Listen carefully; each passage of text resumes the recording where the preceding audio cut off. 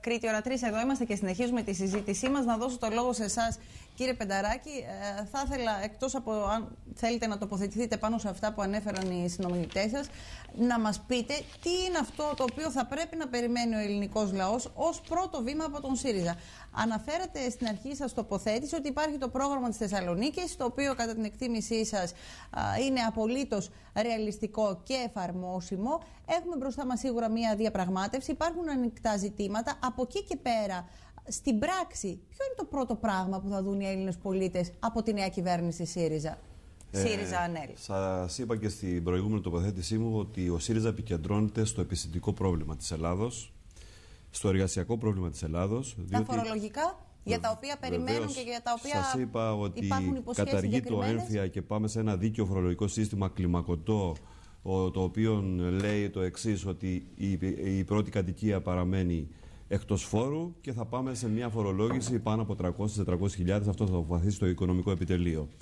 Ε, ο ΣΥΡΙΖΑ στοχεύει ότι το πρώτο διάστημα της κυβέρνησης πρέπει να δώσει ορισμένες λύσεις σε μια σωστή κατεύθυνση ώστε η ελπίδα που έδωσε ο ελληνικός λαός στο ΣΥΡΙΖΑ να δει ότι τα πρώτα βήματα όντως προχωράμε σταθερά και θα δει καλυτέρευση όσον αφορά την ε, συγκοινωνία γενικότερα, όσον αφορά τα θέματα παιδείας, υγείας, όλα αυτά θα μπουν πάνω στο τραπέζι και θα συζητηθούν και θα, θα γίνει διαβούλευση με τους, ε, με τους κοινωνικούς φορείς έτσι ώστε όλοι μαζί να προσπαθήσουμε και να βοηθήσουμε προς αυτή την κατεύθυνση. Διότι ο ΣΥΡΙΖΑ δεν είναι ένας εργολάβος που αναλαμβάνει να λύσει το πρόβλημα της Ελλάδος. Πρέπει και η κοινωνία να βρεθεί μπροστά, να στηρίξει τις διαδικασίες και το πρόγραμμα του ΣΥΡΙΖΑ. Μάλιστα. Κύριε Καρτάκη, η επόμενη μέρα για τη Νέα Δημοκρατία θα δούμε διεργασίες στο εσωτερικό σας, θα προχωρήσετε ενδεχομένως σε εκλογή νέου Προέδρου; Ε, συνηθίζεται μετά από εκλογικά αποτελέσματα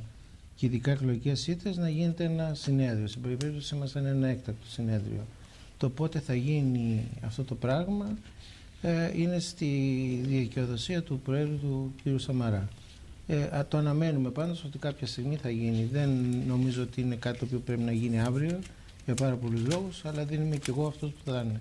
Περιμένουμε λοιπόν το συνέδριό μας. Στο συνέδριο θα γίνει συζήτηση της πορείας της Νέας Δημοκρατίας και των εκλογών και των όποιων άλλων διεργασιών αν υπάρχουν. Πάντως, ξαναθυμίζω ότι η Νέα Δημοκρατία έχει μια-δυο μονάδες μείωση του, του εκλογικού αποτελέσματος από το 12, σαν Χανιά έχουμε 0,6, 65%. Αυτό είναι κάτι το οποίο έχει τη σημασία του και επίσης θέλω να ξαναπώ ότι να είστε σίγουροι ότι θα στηρίξουμε ό,τι θετικό γίνει από την κυβέρνηση την καινούργια που έχει για τη χώρα αλλά θα ελέγχουμε και θα κρίνουμε οτιδήποτε αρνητικό και στο τέλος πάντα ο λαός κρίνει τα αποτελέσματα στις κάλπες όποτε και αυτές έρθουν. Πάντως εμείς δεν θα ζητήσουμε ούτε αύριο το πρωί κάλπες ούτε κάτι άλλο. Είμαστε, σας είπα, μια δύναμη που έχει αποδείξει ότι και από τη θέση της αντιπολίτευσης είναι χρήσιμη στη χώρα. Κύριε Γήπαρη, για τους ανεξάρτητους Έλληνες θα λέγατε ότι βγήκατε πιο ισχυρή από την χθεσινή εκλογική αναμέτρηση; Κυρία Παπαδογιαννάκη, παρά τις προσπάθειες οι οποίες έγιναν περί του αντιθέτου, οι ανεξάρτητοι Έλληνες κρατήσανε, ήταν δυνατοί, μπήκαν με πολύ δύναμη στο ελληνικό κοινοβούλιο και από σήμερα μαζί με το ΣΥΡΙΖΑ θα αποδειχθεί αυτό που λέγαμε, αυτό που έλεγε ο πρόεδρός μας, το αναγκαίο καλό για την πατρίδα και για την κοινωνία. Και να πω και μία κουβέντα για ένα άλλο θεματάκι το οποίο δεν θίξαμε. Άκουσα με πολύ χαρά σήμερα το πρωί ότι ο πρόεδρος του Αρίου Πάγου, ο πρώην πρόεδρος που είναι ή στον ΣΥΡΙΖΑ, ο κύριος Νικολούδης, ε, έχει εντολή από τον κύριο Τσίπρα να επαναφέρει αυτές τις λίστες και όλα αυτά τα οποία είχαν καταχωνιαστεί σε συρτάρια και το περιδικαίο αίσθημα για τον ελληνικό λαό θα φανεί. Θα δούμε λοιπόν και κάποια μαύρα χρήματα και θα επιστρέψουν πίσω τα κλεμμένα. Είναι πολύ σημαντικό να τα ακούσει ο ελληνικός λαός και εμείς πάνω σε αυτό θα βοηθήσουμε όσο μπορούμε. Να δει δηλαδή ο Έλληνας πολίτης τι γινόταν τα χρήματά του όταν εμείς και όλη η κοινωνία υπέφερε. Σε γενικότερο επίπεδο, α, θεωρείτε κύριε Γήπαρη ότι η αλλαγή κυβέρνηση στη χώρα μας και το γεγονός ότι έχουμε για πρώτη φορά κυβέρνηση της αριστεράς θα σηματοδοτήσει εξελίξεις και σε ευρωπαϊκό επίπεδο; Ε, Βεβαίως, πρωτίστως πρέπει να τακτοποιήσουμε τα του οίκου μας. Είναι πράγματα που πρέπει να τα φτιάξουμε. Οπωσδήποτε όμως, αυτό που βγαίνει είναι ότι πραγματικά θα δημιουργήσει και εξελίξει ευρωπαϊκό επίπεδο και η Ευρώπη θα σκύψει πάνω σε αυτά. Δεν μπορεί να μην είναι διάφορη. Ειλικρινά θα είναι η Ευρώπη πέραν των οικονομικών και των, η Ευρώπη ας πούμε των λαών, η Ευρώπη που πρέπει πραγματικά το, το καλό και σωστό πρόσωπο της Ευρώπης. Δεν μπορεί η Γερμανία, στο πούμε με εντολές και με email να κυβερνάει την Ελλάδα. Ε, αυτό θα αλλάξει και θα αλλάξει από τον Ευρωπαϊκό Νότο και ο ΣΥΡΙΖΑ είναι το ένασμα γι' αυτό και αυτή τη στιγμή βλέπουμε ότι η Ευρώπη λέει ότι εμείς βεβαίως η οντότητα της Ελλάδος θα έρθει, θα συζητήσουμε και θα τα βρούμε. Ούτε οι κομίτες θα ψωσκούσουν στη γη, ούτε τα παγόβουνα θα έρθουν από το Βόρειο Πόλο. Και τα ATM βγάζουν σήμερα λεφτά. Θα πρέπει να σας διακόψω, κύριε πρωί... Γήπαρη, να πάμε να δούμε την ορκομοσία του ναι. Αλέξη Τσίπρας ω νέο πρωθυπουργό της χώρας. Κύριε Πρόεδρε,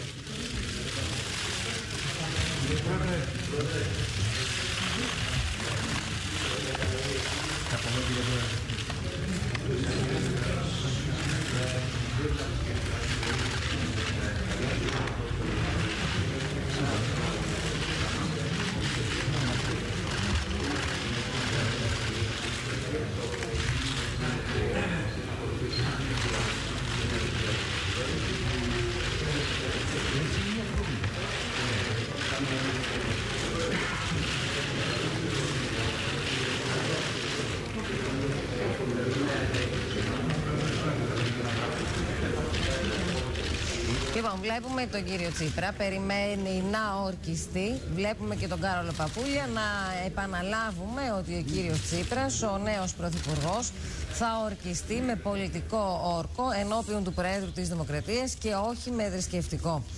Ε, πριν πάει στο Προεδρικό Μέγαρο, όπως σας δείξαμε, είχε συνάντηση με τον ε, κύριο Ιερώνυμο, τον Αρχιεπίσκοπο, στον οποίο ανέφερε ότι θα ορκιστεί με πολιτικό όρκο και όχι με θρησκευτικό και μάλιστα του ζήτησε την ευχή του για το δύσκολο έργο που έχει μπροστά του ως νέος πρωθυπουργός.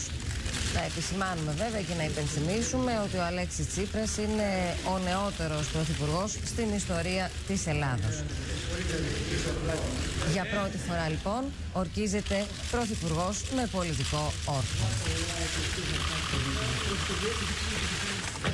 Κύριε Πρόεδρε, θέλω να σας διαβεβαιώσω την τιμή και τη συνείδησή μου ότι θα τηρώ το Σύνταγμα και τους νόμους και ότι θα υπηρετώ πάντα το γενικό συμφέρον του ελληνικού λαού.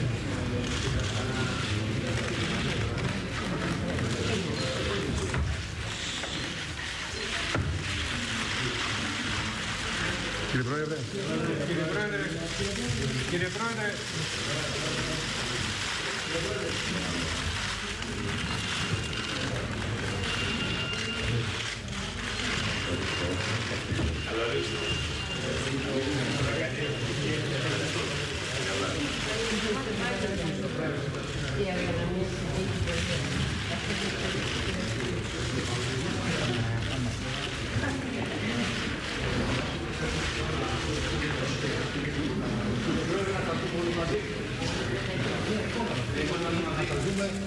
you.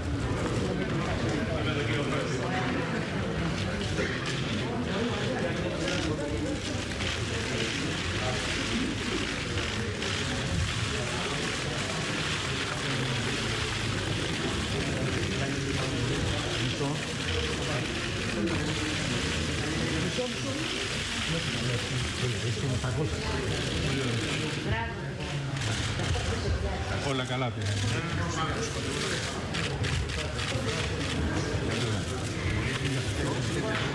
Απλά φωνάζετε. Ο Αλέξης Τσίπρας, κυρίες και κύριοι. Μάλιστα. Παρακολουθούσαμε λοιπόν σε απευθεία σύνδεση με τη δημόσια τηλεόραση την ορκομοσία του νέου Πρωθυπουργού της χώρας μας, Αλέξη Τσίπρα. Ήταν η πρώτη φορά που ο Πρωθυπουργός έδωσε πολιτικό όρκο, ενώ ακούσαμε και νωρίτερα ότι ο Αλέξης Τσίπρας είναι ο νεότερος Πρωθυπουργός που έχει ποτέ αναλάβει στην Ελλάδα. Ε, σε αυτό το σημείο εμείς σε αυτό το σημείο να ευχαριστήσω τους σημερινούς μας καλεσμένους, τον κύριο Γίβαρη, τον κύριο Καρτάκη, τον κύριο Πενταράκη. Να είστε όλοι καλά. Σας ευχαριστώ. Καλό απόγευμα να έχετε.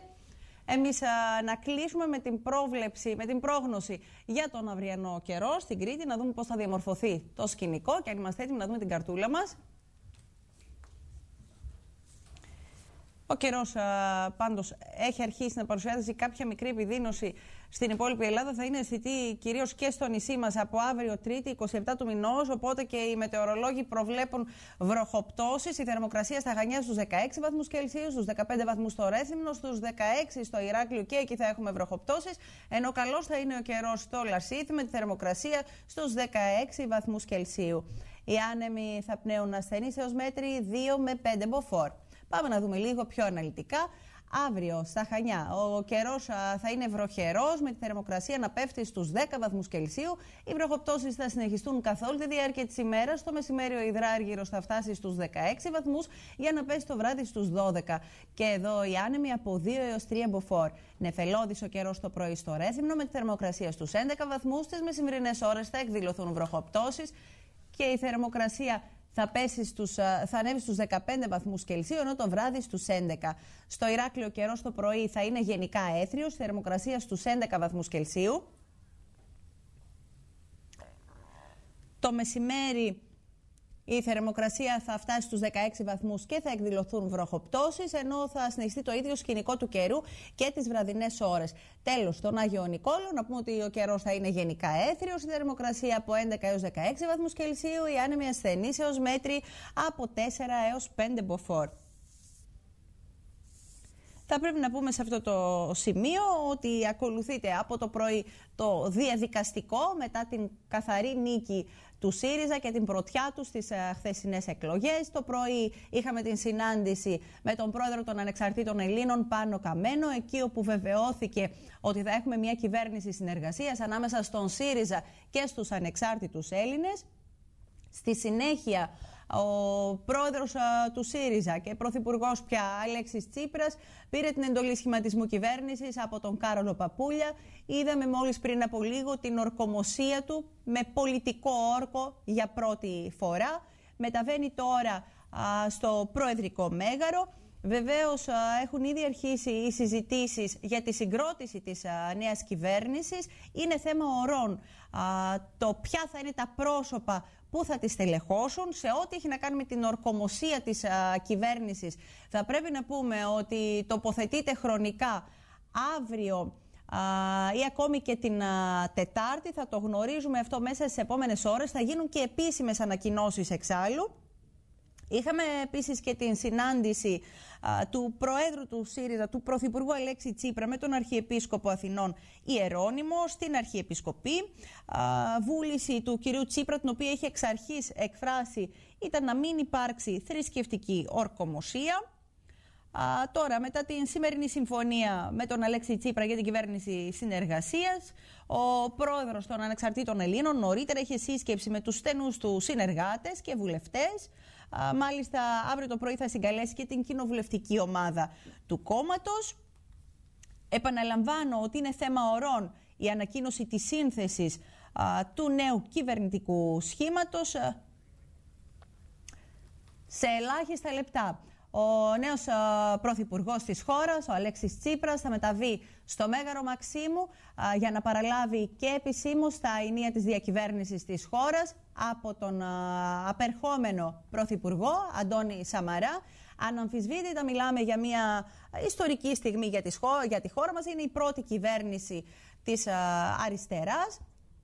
Και δεν θα πρέπει να ξεχνάμε ότι ο ΣΥΡΙΖΑ κατέγραψε μια εντυπωσιακή αναμφισβήτητα πορεία από την στιγμή που ξεκίνησε με ένα ποσοστό της τάξης του 4% και μέσα σε λίγα χρόνια έφτασε στην, στα σκαλοπάτια της διακυβέρνησης. Σε αυτό το σημείο εμείς φίλες και φίλοι θα σας αποχαιρετήσουμε, θα σας ενημερώνουμε με έκτακτα δελτία ειδήσεων μέσα από την τηλεόραση Κίδων για οτιδήποτε νεότερο για τη σύνθεση της νέας κυβέρνησης. Εμείς θα τα πούμε και πάλι αύριο στις 3 μετά το μεσημέρι. Μέχρι τότε να είστε όλοι καλά. Καλό σας απόγευμα.